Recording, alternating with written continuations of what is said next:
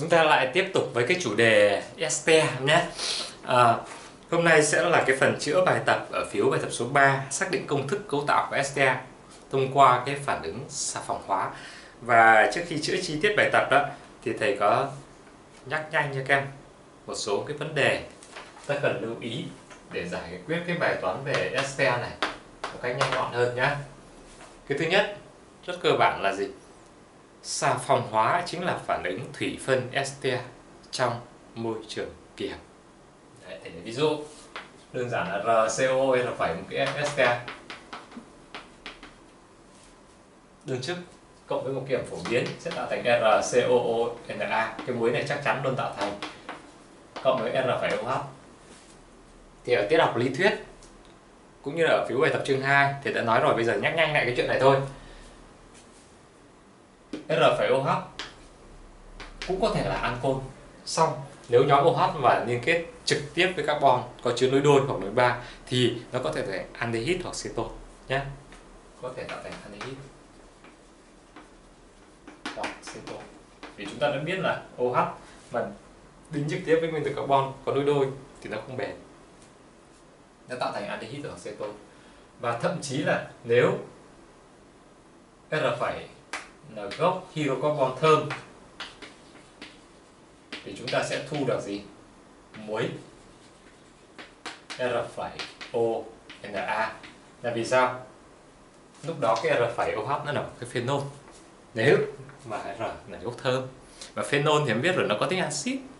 Cho nên là gặp phải môi trường là có bazơ là sẽ phản ứng. Và lúc đó chúng ta, thay vì Ờ, thu được một muối một muối một ancol hoặc một muối một aldehyde hoặc một muối một cetone thì chúng ta sẽ thu được hai muối và nước nhé đấy, đấy là cái lưu ý thứ nhất.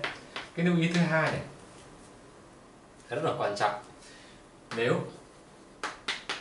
số nguyên tử carbon ở trong este mình nhỏ hơn hoặc bằng 3 thì em có thể kết luận ngay đó là một cái este đơn chức Đấy, và không phải lăn tăn gì nhiều. Là vì sao? Em tưởng tượng này nhé chúng ta có cái SPA chất đi mà đơn giản chỉ là hai chức thôi. RCOR đây là R phải. Đấy, hai chức mà đã thấy nó rất là vô lý thì, thì nghiễm nhiên ba chức bốn chức nó cũng vô lý theo. Chúng ta chỉ lấy trường hợp này thôi. Để thấy có gì? Ờ, ở đây chắc chắn có hai nguyên tử carbon ở trong hai nhóm ester này. Thêm một điều nữa là đây là gốc hydrocon r thì đây không thể là hydro được mà phải có phải có carbon. Vậy đây tối thiểu phải có một carbon ứng với trường hợp CH2 và đúng không? Tối thiểu thôi nhé. Đấy cho nên quanh quanh vùng này đã có tối thiểu ba carbon rồi. Trong cái bài học về este thì chúng ta cũng biết là cái gốc r phẩy này này phải là gốc hydrocarbon chứ không thể là hydro được. Vì ta biết ngay là nếu nó là nếu r phải mà là hydro thì nó là COOH chung. COH chứ không phải là CO r phẩy nào đó nữa mà là COOH thì đó là axit chứ đâu phải là este. Có đúng không? Đó, thế thì ở đây tối thiểu phải có một carbon nữa này. Đây tối thiểu phải có carbon này. Vậy với một cái este mà hai chức thì tối thiểu là phải có bốn nguyên tử carbon okay. chứ ở đây nếu mà nó mà ba nguyên tử carbon ta cách ngay nó là este đơn chức không phản cái. Đúng không? Tiếp nữa. Nếu số nguyên tử carbon à, xin lỗi nếu à, à, khối lượng mol phân tử của este mình nhỏ hơn hoặc bằng 100 thì em cũng có thể suy ra ngay được đó là este. Đúng chứ Đấy, không phải băn khoăn gì nhiều. Vì sao? Cũng tương tự như trên nhé. Giả sử cái este này có hai chức thôi đã thấy nó vô lý rồi. Em nhìn này. khối lượng mol phân tử của nó sẽ bằng khối lượng của góc r cộng với à, uh, COO là bao nhiêu nhỉ? Là 44 phải không? 44 với dưới này 44 nữa 44 cộng 44 là cộng với 88 cộng với R phải cộng với R hai phải. Nhưng để ý này ta biết là R phải là một cái gốc hydrocarbon. Mà gốc hydrocarbon đơn giản nhất trong trường hợp này R này phải là CH2 Đấy, nó có hai chị 2 thì nó phải CH2 chứ không phải CH3 nhé. Nó phải là CH2 Đấy, tối thiểu R phải CH2 vậy thì tối thiểu khối lượng của nó cũng phải là 14 Đấy. Vậy thì chỗ này tối thiểu là 14 cộng với 88 thì đã vượt quá trăm rồi. Đấy, chưa kể tính hai cái ông R và R phẩy nữa. Ừ. Cho nên nếu như mà nhỏ hơn bằng 100 thì ta kết luận ngay là phải được chứ. Đấy. Là những cái cái cái, cái kinh nghiệm giúp cho ta giải quyết nhanh gọn hơn cái bài toán về SPA à và nhân đây cũng có nói thêm thế này nữa. Đối với một cái STA mà đem đi đốt cháy thì chúng ta biết là STA có N nguyên tử carbon khi đốt cháy STA đó thì đã tạo thành CO2 và nước. Để chúng ta không quan tâm những phần thành phần còn lại. H, X, ờ, O, Y nào đấy. Bao nhiêu H, bao nhiêu O, ta không bận tâm. Nhưng nhìn thế này. Bao nhiêu carbon ở đây thì chuyển hết, hết về CO2 đây. Cho nên nếu ở đây có N nguyên tử carbon thì đây cũng có N nguyên tử carbon. Thì giả sử N bằng 2 chẳng hạn đây là 2 nguyên tử carbon thì đây là 2 phân tử CO2 đây là 3 nguyên tử carbon thì đây là 3 phân tử CO2 hóa ra là đốt cháy một mol SPA mà tạo thành 3 mol CO2 thì chứng tỏ có 3 nguyên tử carbon trong STA. Đốt cháy một mol này mà tạo thành 5 mol CO2 thì chứng tỏ trong phân tử STA này có 5 nguyên tử carbon. Cứ một mol STA đốt cháy, bị đốt cháy tạo thành bao nhiêu phân tử CO2, bao nhiêu mol phân tử CO2 thì tương ứng là có bấy nhiêu nguyên tử carbon có mặt trong SPA nhé, em nhớ những cái điều đấy. Rồi, bây giờ ta đi vào chi tiết chữa cái phiếu bài tập này. Số 1 đốt cháy hoàn toàn SPA gì? Thu được 3 mol khí CO2 đấy, như ta vừa phân tích nha đốt cháy, một mol X tạo ra 3 mol CO2 đây, một mol này, tạo ra 3 mol này, chứng tỏ N ở đây phiếu 3 suy ra Jaspia có 3 nguyên tử carbon trong phân tử. Và ta biết là nếu mà có 3 nguyên tử carbon trong phân tử thì chắc chắn đó là SPA đơn chức đây là SPA đơn chức Đấy. chứ nếu không biết điều này thì chúng ta, không biết nó là đơn chức thì chúng ta lại đi giả định cái công thức của nó rất là ngoan báo nào. Vì nó là đơn chức nên là an tâm, ta có quyền gọi nó là RCOOR Đấy, một nhóm STM này cộng với là H tạo thành R à, cộng với R phải OH. Thế ở đây họ, họ họ cho ta biết là có 3 nguyên tử carbon thôi. Trên này chắc chắn là sẽ chỉ có muối này. Còn cái chuyện R phải OH cái kìa em kìa. Nó cũng là ancol hay là aldehyde hay là ceton thì ở đây không ảnh hưởng chi cả. Vì người ta cho ta thông tin về khối lượng muối thôi.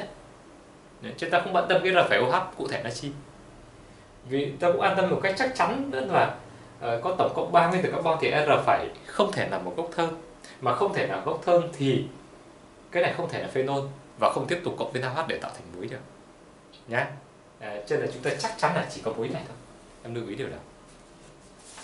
Rồi các bạn đốt à, xà phòng hóa 0,1 mol ST đây 0,1 mol thì thu được à, 8,2 gram muối chứa natri. Vậy chứa natri cho ta biết ngay này xà phòng hóa này trong môi trường NaOH nhé.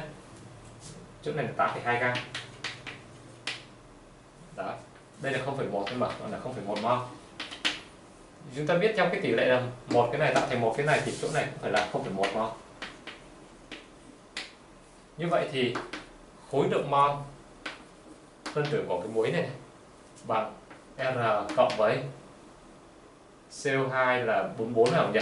44 cộng với natri đây là 23 khối đây là khối nước mol của một cái phân tử khối nước mol phân tử của này khối nước mol phân tử thì bằng khối lượng là 8,2 chia cho số mol là 0,1 tức là nó bằng 82 như vậy thì ở đây em suy ra ngay R bằng 15 mà R 15 thì R sẽ phải là CH3 gốc hydrocarbon mà có khối lượng bằng 15 thì nó chỉ là CH3 chứ không thể là cái khác đấy bạn thì em biết là nếu mà có hai carbon thì nó đã thành 24 vượt quá mất rồi chưa tính đến hydro đúng không?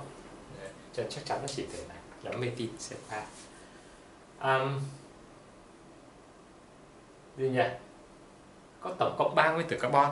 Mà R đã là Z3 rồi thì công thức của ta sẽ là Z3COOR gì? R phẩy. R phẩy chứa một nguyên tử carbon thì nó cũng chỉ có thể là Z3COOCH3 nhóm hydrocarbon gốc hydrocarbon mà có một nguyên tử carbon thì chỉ có thể CH3 không thể khác được. Vì gốc này có hóa trị một mà. Nên chỉ CH3 nếu mà có hóa trị hai cân thì nó biết là CH2 đó em lưu ý chỗ đấy nhá. Gốc hydrocarbon mà hóa trị một thì chỉ có thể là CH3 thôi. À vậy thì thì SKX gì cần tìm ở đây chính là CH3CO CH3 hay là uh, ta chọn cái phương án trả lời là C cho câu hỏi này nhé. Đáp án C Đấy để nó xong câu số 1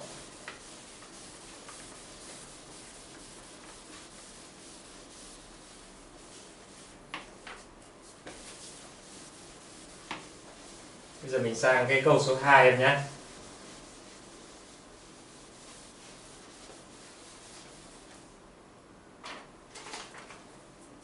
Câu 2.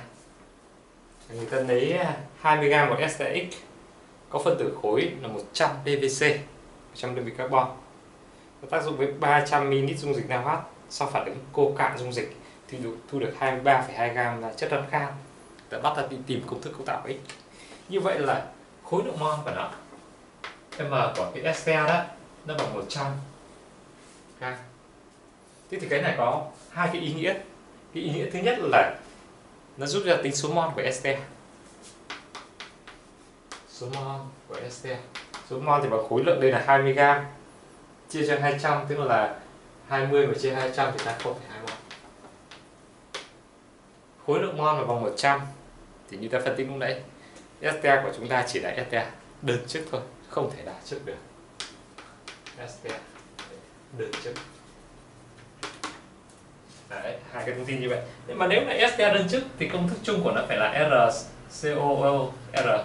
R phải cho tác dụng với nào không thì tạo thành RCOO cộng với R phải thế thì cũng giống như bài một thôi. Ờ, là đơn chức có số nguyên tử carbon nó nhỏ thôi.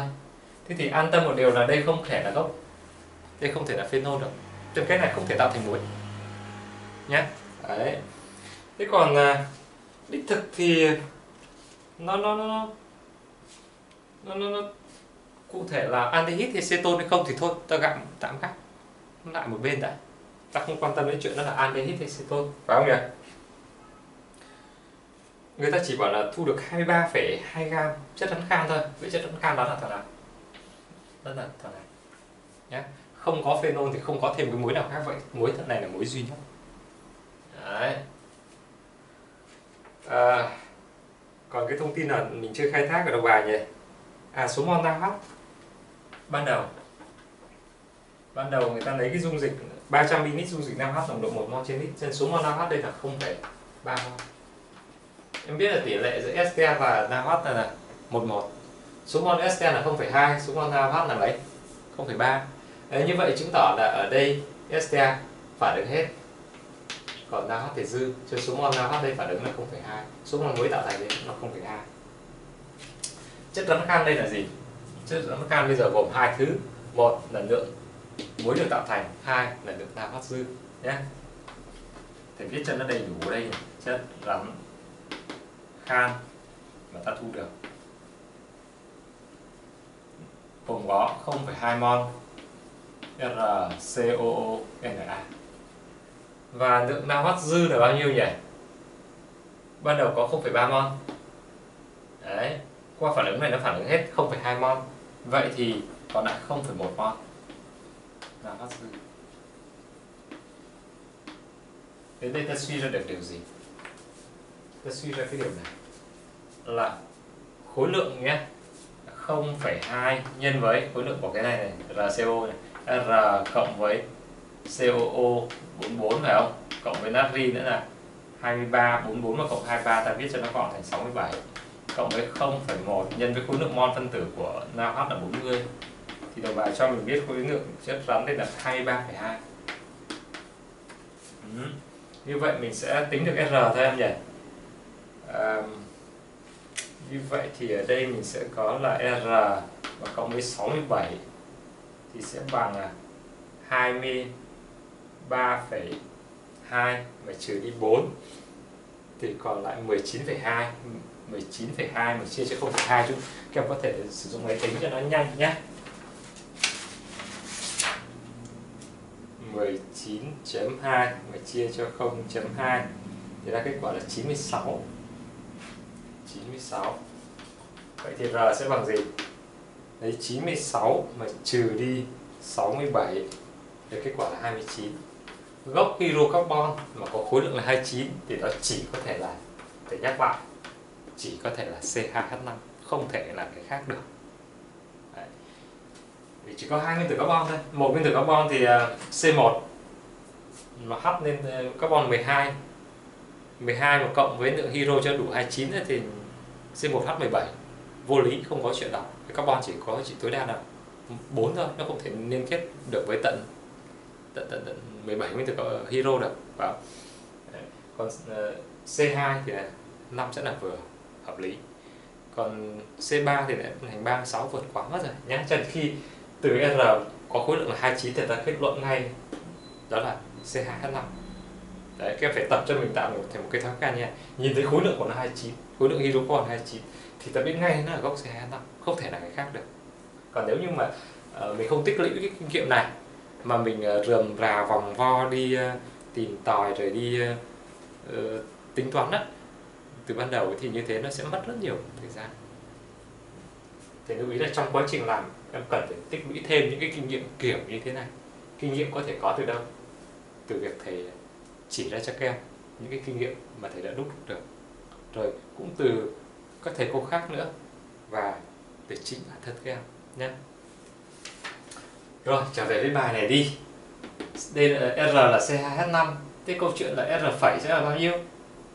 Ồ thì, thì ta biết khối lượng mol của nó ở trăm rồi. Phải không kìa? Thì ta khai thác này. Chỗ này sẽ là R là 29 nào thì chúng ta sẽ có 29 này. Nhìn vào cái STA nhé RCO hay R phải mà đây là 29 này cộng với 4 COO là 44 này cộng với R phải này thì ta còn 100 vậy R phải bằng bao nhiêu nhỉ? Chúng ta lấy 100 trừ đi 29 để trừ đi 44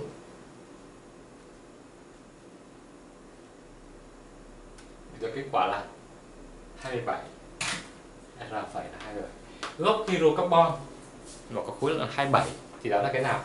Không thể là một carbon này một carbon thì với 15 hydro, không ổn. Đúng không? Hai carbon. Nếu mà hai carbon hai carbon. Là 14 à, xin lỗi là 24 24 rồi thì còn có 7 thôi thì chuyển 3 hydro. Đấy. còn C3 thì không thể. Vậy nó chỉ có thể là C2H3 hợp lý. Và công thức thực tế của nó là CH2 đối đô C gốc vinin vậy R phải là gốc vinin đúng không?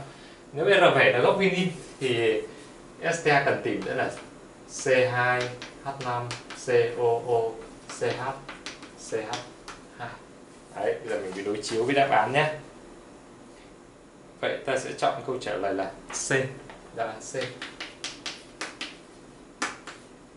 Rồi đấy là câu số 2 giờ mình sang cái câu số 3 này.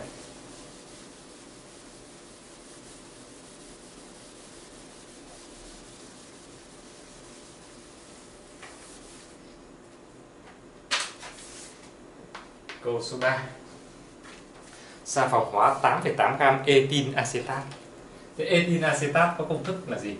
Uh, CH3 COO C2 H5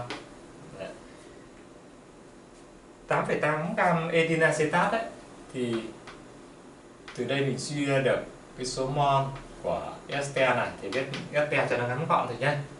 Ta lấy 8, 8 và chia cho khối lượng mol của này em dễ dàng tính ra được 8 bằng 88 như vậy đây sẽ là 0,1 mol. Bằng 200 ml dung dịch NaOH số mol của NaOH sẽ là bao nhiêu? Thể tích của nó là 0,2 lít nhân với 0,2 mol trên lít thành 0,04 mol.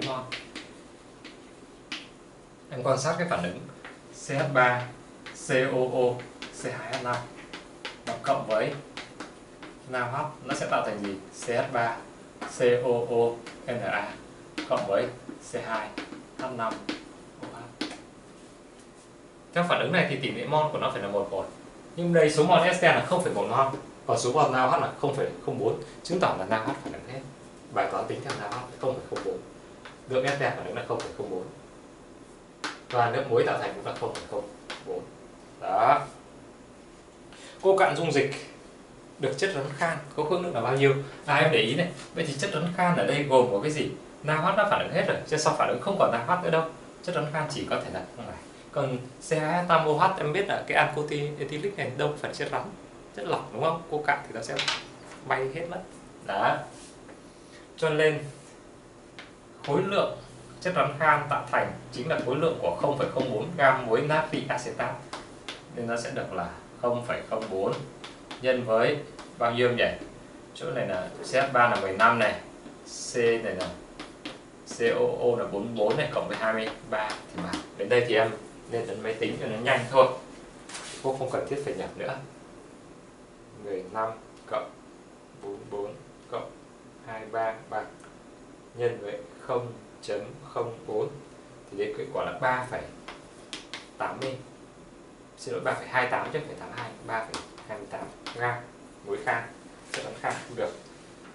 À đối chiếu đáp án và suy ra đây là đáp án C cho câu số 3 rồi bây giờ mình sang câu số 4 em nhé.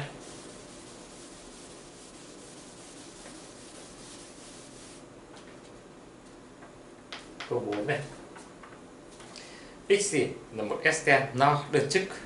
Có tỷ khối hơi so với CH4 là 5,5 không cái tỷ khối hơi là gì? Em nhớ là tỷ khối hơi tức là lấy khối lượng mol phân tử của ester chia cho khối lượng mol phân tử của CH4 đấy thì nó bằng 5,5 vậy từ đây ta suy ra khối lượng mol phân tử của ester này sẽ bằng gì? 5,5 nhân với khối lượng mol phân tử của CH4 là 16 rồi nghiện máy thôi về 6 nhân với 5.5 được kết quả là 88 vậy ST này có khối lượng mol phân tử là 88 gram đó. Ờ, người ta cũng cho ta biết nó là một cái ST no đơn chức. Thế thì mình cứ giả vờ nó là RCO N phải đi. Đấy. Đun nóng nó với NaOH dương tạo thành RCOON A cộng với R. Phải OH đó. Thu được 2,05 gram muối. Thế muối đó là cái nào? À, muối đó là cái này chúng ta không lo ngại cái muối tạo thành từ R phải OH vì sao? Họ bảo là ester còn là ester no no thì là phải không phải là một gốc thơm. Mà không phải là gốc thơm thì ta không sợ đây là một phenol. Vì nếu là phenol cơ thì nó mới phản ứng với NaOH để tạo ra thành một cái muối. Đây không phải là phenol. An tâm chỉ có cái muối này thôi. Đó. Um, số mol của SK thì bằng gì? 2,2 chia cho 88 vậy được kết quả là 22 chia cho 88 là được 1 phần 4 tức là 0,25 vậy ở đây là 0,025 mol phản ứng với NaOH dư mà. Cho nên SK phản ứng hết 0,025 thì lượng muối tạo thành cũng là 0,025 mol ừ. rồi các bạn ta thu được 2,05 gram muối. Vậy thì chúng ta sẽ có 0,025 nhân với khối lượng mol của thằng này sẽ là R cộng với CONA là 67 phải không nhỉ? Thì bằng 2,05 Đấy, giải cái phương trình này mình suy ra R thôi. Đến đây thì em có thể lấy máy tính. R sẽ bằng gì? Tôi lấy 2,05 chia cho 0,025 và trừ đi 67 2.05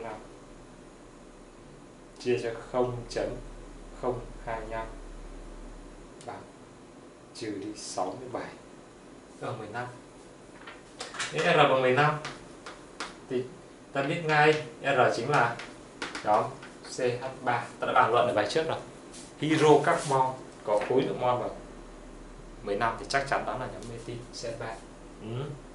mình đang đi tìm cái gì nhỉ? Công thức cấu tạo thu gọn của x muốn biết công thức cấu tạo của x chúng ta tìm thêm cái r phẩy nữa.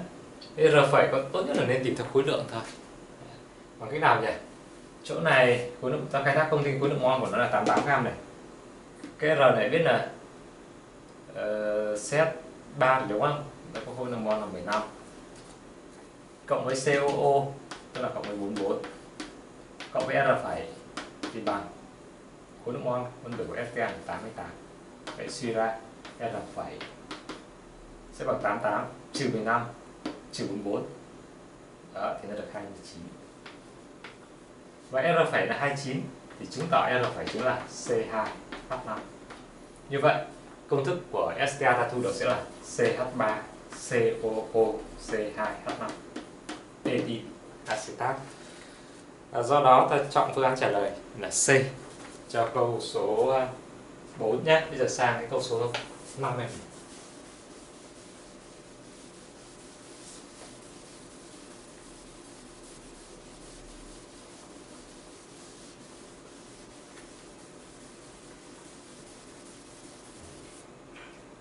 câu số 5 xà phòng hóa hoàn toàn là 1,99 gam hỗn hợp 2 este và dung dịch AOH thì ờ, thu được 2,05 gam muối của một axit carboxylic và 0,94 gam hỗn hợp hai ancol đồng đẳng kế tiếp của nhau. Đấy, công thức của hai este đó là gì? Hai cái este này ta cứ giả sử nó là RCOO R và RCOO R. 2 Tại sao cùng là RCOO? Tại vì họ bảo là thu được một muối của axit carbonic Đấy, muối của một axit carbonic vậy thì cái axit này nó nó trùng nhau này. Lúc đó chúng ta sẽ có RCOOR phải. Cộng với N. À không? Tạo thành RCOONA cộng R phải OH vì các em mới quen nhé. Cho nên là mới học thôi mới quen thôi. Cho nên thầy viết tương đối là đầy đủ. Thì các em hiểu rằng là à đến cái giai đoạn ôn tập đó khi mà chúng ta đã tích lũy được cái cái cái, cái, cái kinh nghiệm một cách tương đối một chút thì những phần này chúng ta sẽ học cái cách viết tóc nó đi cho nó nhanh. Bây giờ ta cứ viết đầy đủ để hiểu rõ bản chất đã. Để nhắc lại như vậy để cho các em đỡ sốt rồi RCOOR hai phải cộng với NaOH tạo thành gì? RCOONA cộng với R 2 phải um, người ta cho ta những cái thông tin này. Thế thì em viết này theo định luật bảo toàn khối lượng thôi. Tổng khối lượng của hai te cộng khối lượng của của của, của NaOH thì sẽ bằng khối lượng của muối cộng với khối lượng của hai cái ancol. Đấy, như vậy có nghĩa rằng là từ đây thì em suy ra được ngay khối lượng của NaOH bằng gì? Bằng khối lượng của hai thằng muối này cộng khối lượng của ancol này trừ đi khối lượng của este. thế mà khối lượng của hai thằng muối này là 2,05 g. trừ đi. À, xin lỗi là cộng thêm chứ nhỉ? Khối lượng muối cộng thêm khối lượng của hai ancol là cộng với 0,94 và trừ đi khối lượng của este là 1,99 thế thì ở đây ta biết được ngay nó là một đúng đó ta sẽ tính được ngay nó là một gam. nếu vậy thì số mol của NaOH sẽ là bằng bao nhiêu đem 1 phần 40 tức là 0,025 mol NaOH biết được số mol NaOH nó giúp cho chúng ta biết được à vậy thì số mol của cái muối hai cái muối này là bao là bao nhiêu? Vì chúng ta biết là theo tỷ lệ một một mà một mol này phản ứng thì tạo thành một mol này một mol này. Vậy thì số mol của NaOH phải bằng số mol của muối này nên ta có số mol của RCOO Na cũng bằng 0,025 mol. Và bằng cái gì tiếp? Em để ý này à, bằng khối lượng của nó là 2,05 chia cho khối lượng mol của nó là bao nhiêu? Đây với muối RCOONA thì chúng ta sẽ có R cộng với nhóm COONA là cộng 67 rồi vậy từ đây mình suy ra R thôi nhỉ? R sẽ bằng gì? Ta cần hỗ trợ của máy tính.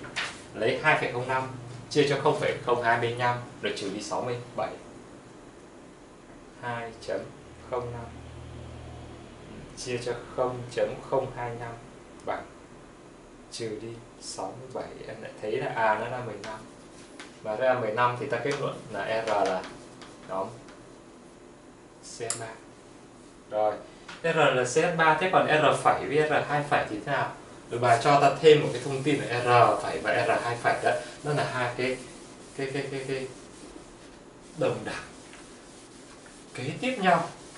Đấy, nó là kế tiếp nhau thì nó hơn kém nhau một cái, đúng một cái nhóm C2 cho nên ở đây ta giả sử R phẩy và R, hai phẩy gọi chung là R trung bình. Đấy. thì suy ra, hỗn hợp hai STA của chúng ta là R trung bình. Wow. tôi tính R trung bình, xem thế nào nhé. Khối lượng mol của trung bình của hai liệu sẽ là R trung bình cộng với bao nhiêu? Cộng với 17 17 là nhóm OH đây này. Đấy. tức là ta gọi chung cái R phẩy OH và R2 phẩy OH chính là R trung bình OH thì khối lượng mol trung bình của nó này là R trung bình cộng với 17 sẽ bằng. À, bao nhiêu em nhỉ? Khối lượng ở đây là 0,94 gam. Còn số mol của hai liệu này sao? Nó là 0,025 em biết vì sao không? Ta để ý nhá. Số mol rượu cũng bằng số mol nào H này.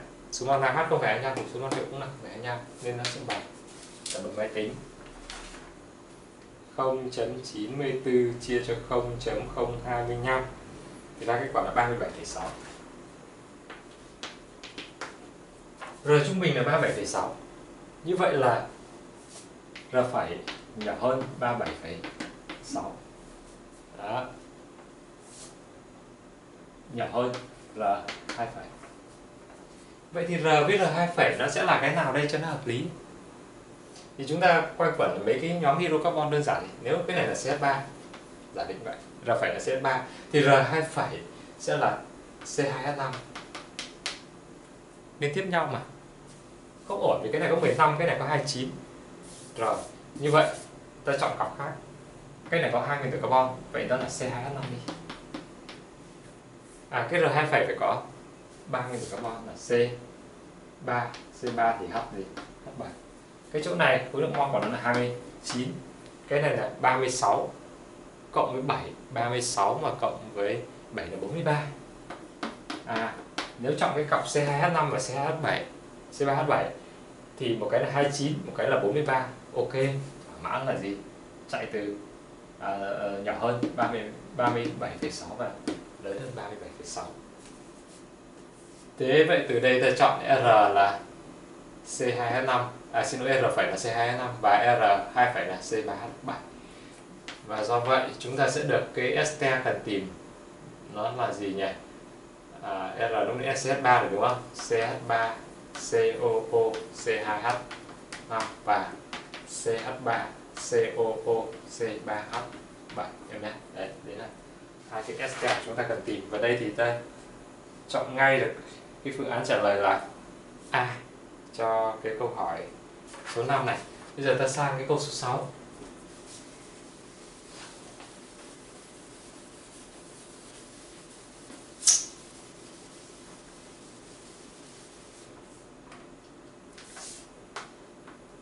câu 6 này. STX không no mạch hở có tỷ khối hơi so với oxy là 3,125 và khi tham gia phản ứng xà phòng hóa tạo ra một aldehyde và một muối của axit hữu cơ hỏi có bao nhiêu công thức cấu tạo x phù hợp?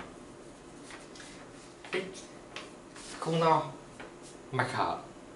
Đấy, có tỷ khối hơi so với với, với, với oxy là 3,125 thế thì tốt nhất là khai thác cái tỷ khối hơi.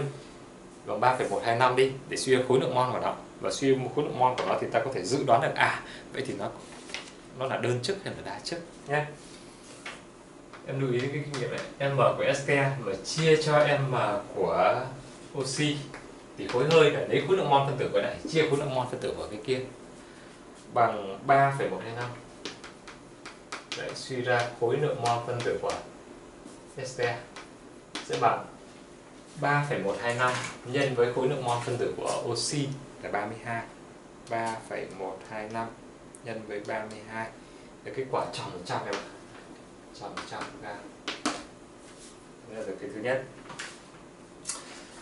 Như ta phân tích ở trên đấy thì là những cái STA mà có khối lượng nhỏ hơn bằng 100 thì đó chỉ có thể là STA đơn chức thôi chứ không thể đa chức được.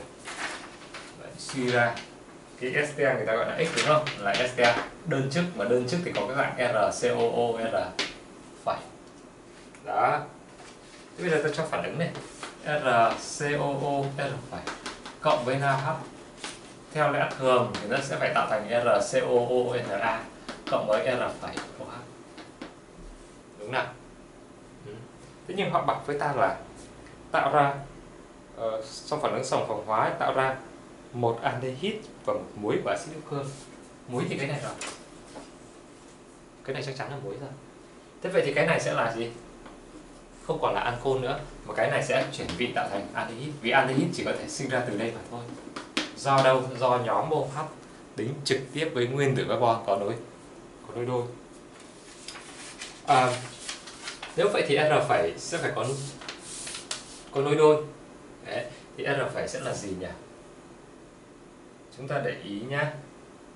R phải thì có nối đôi thì có nhiều lắm phải không? Đến đây ta thấy có một cái vấn đề là ừ thì R phẩy nó có nối đôi nhưng mà làm sao để khoanh vùng được là cái R phẩy nó khoảng khoảng bao nhiêu thôi? Để để ý này. À, khối lượng của cái này có hàng trăm. Ồ, người ta cũng không cho ta thêm về về về, về khối lượng của muối. Thế thì ta khoanh vùng cái R phẩy bằng cách này. R cộng với 44 cộng với R phẩy bằng 100 đó. Thế R tối thiểu là một cái hydro khi cái này nhỏ nhất thì R phẩy này lớn lớn nhất suy ra. R phẩy sẽ nhỏ hơn hoặc bằng 55 đúng nhỉ? R phẩy sẽ nhỏ hơn hoặc bằng 55 à, thế thì à, chúng ta để ý xem là à nhỏ hơn hoặc bằng 55 mà nó phải có cái nối đôi. Thì R, nó sẽ có dạng là R2 phẩy C H nối đôi gì? C H OH đó. Cái R phẩy OH này nhé nó sẽ có cái dạng kiểu kiểu như thế này. Có vậy thì với cái O, cái cái H này này, nó phải chuyển về đây chuyển bị về đây, để tạo thành CH2 CHO em nhé. Đấy.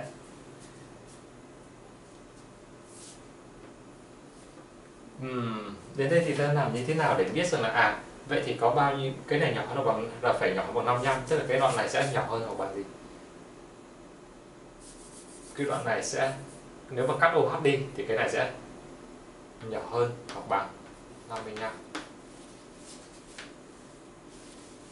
nếu mà nhỏ hơn hoặc bằng 55 thì chúng ta có R2 phải cộng với đây tối thiểu phải là CH CH tối thiểu em nhé. Và R2 phải cũng có thể là hero hoặc cũng có thể là nhóm ờ, uh, hero carbon C với C đây là 24 cộng với nữa là cộng cộng với hai hero nữa là cộng với 26 thì nhỏ hơn bằng 55 thế thì R phải sẽ nhỏ.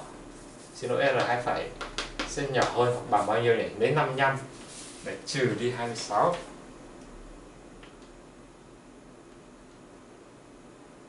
thì nó nhỏ hơn hoặc bằng 29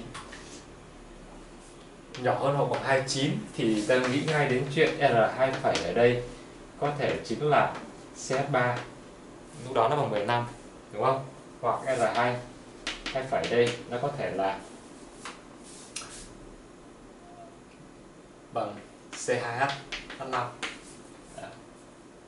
hoặc chúng ta cũng có thể biện luận theo cái kiểu như thế này như thế này thì hơi lòng vòng một chút đúng không? Ở cái câu số 6 thì thì thầy xử lý cái chỗ này nó không được ổn cho lắm. Ta nên xử lý theo cái cách hai này. Ta coi cái R này là hero đi.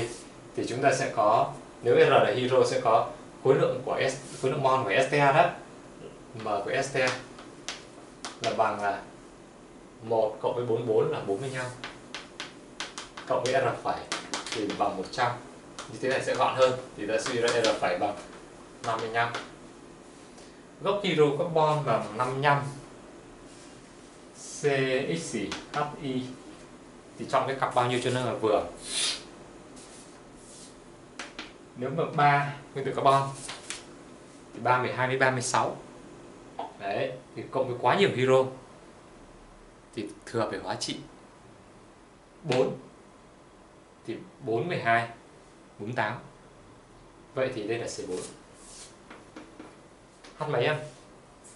48 55 mà trừ đi 48 55 trừ đi 48 còn 7 C4H7 C4H7 mà cái gốc hydrocarbon đó, phải có cái dạng như thế này. Được CH nối đôi gì? CHOH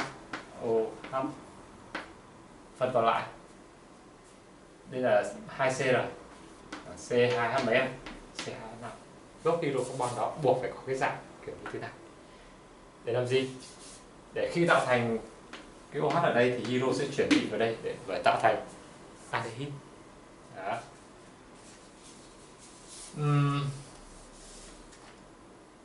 kế đến ta giả định R là CH3 nếu R là CH3 thì chỗ này chúng ta sẽ có 15 cộng M với STA nhé. STA sẽ bằng đây là CH3 thì nó sẽ có 15 cộng với 44 cộng với R phẩy và 100 vậy R phẩy sẽ bằng gì? Ta lấy 100 trừ đi 44 trừ đi 15 thì cho kết quả là 41 41 em nhé 41 cái 41 gốc hydrocarbon có 41 thì suy ra R phải, hay là cái, có dạng CXH đi đấy, nó phải bằng mấy? Ba nguyên tử carbon thì là vừa chứ hai nguyên tử carbon thì nó có hai khối lượng là 24 lấy 41 mà trừ 24 có quá nhiều nguyên tử hydro thừa về giá trị. Đó. nếu 4 nguyên tử carbon thì đã có cân nặng là 48 rồi vượt quá 41 rồi vậy ba carbon hợp lý. Vậy đây là C3 C3 thì phải ăn mấy? Lấy 41 mà trừ đi 36 à, thì còn 5 vậy C3H5 nhưng em nhớ là nó phải có cái C R phải nó phải có CH nối đôi CH để khi kết hợp với OH ở đây, nó mới tạo thành cái không bền và tạo thành aldehyde nếu đây là CH CH nhé thì còn một cái C nữa chỉ có thể là CH3 thôi. Vậy R phải sẽ là CH3 CH nối đôi CH đấy. Tóm lại là để tạo thành aldehyde thì R phải có thể là cái này một. Hoặc cái này nữa là hai. Một trong hai cái này và như vậy là chúng ta có hai cái cái cái cái, cái công thức cấu tạo của x phù hợp. Nhưng ta chọn phương án trả lời là D.